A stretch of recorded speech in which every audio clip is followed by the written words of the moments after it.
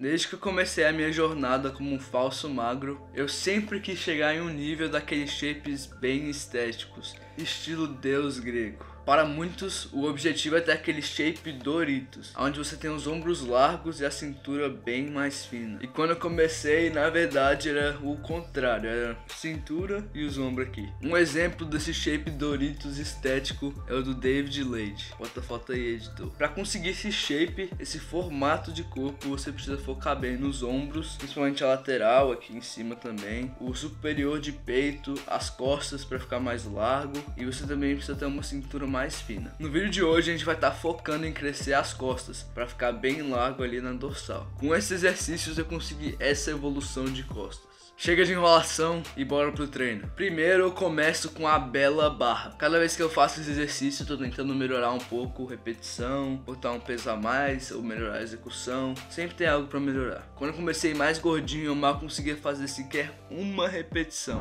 Então o que eu fiz foi pular então o que eu fazia para conseguir praticar era pular e segurar em cima do movimento e controlar o negativo, tá ligado? Para você pelo menos conseguir ganhar um pouco de força. Aí aos poucos você consegue fazer uma, duas, três, quatro, vai por aí. Se você tiver, você também pode usar um elástico para facilitar e aos poucos você ganha essa força aí para conseguir fazer. A barra é com certeza um dos melhores exercícios para as costas e ela vai te trazer aquela largura na dorsal. Em seguida eu já mando a barra supinada e eu fiz três séries até a falha para barra supinada e para barra normal também. E se as barras normais já estiverem bem fáceis para você, você conseguir fazer 15, 20, você pode usar o que uma mochila ali com um pouco de peso para ficar mais difícil e você conseguir continuar progredindo. Depois das barras eu já desço lá embaixo para onde eu tenho os pesos e eu faço as remadas. Eu tento descer completamente e segurar a contração lá em cima do movimento e sentir bem a contração lá nas costas. Eu tento fazer com peso que seja difícil, porém não prejudique a minha execução e acaba machucando, tá ligado? Você precisa fazer um peso que você consiga fazer bem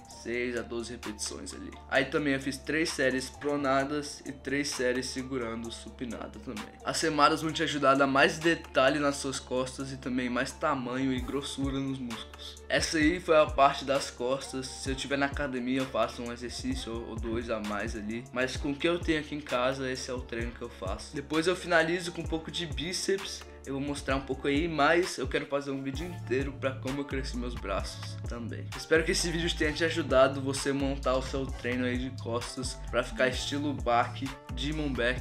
Bora tentar bater aí, será que vai uns mil likes nesse vídeo? Seria foda. E se você curtiu também, se inscreve aí no canal pra gente bater os 40 mil inscritos aí. Bora, bora, bora. Tamo junto e até a próxima.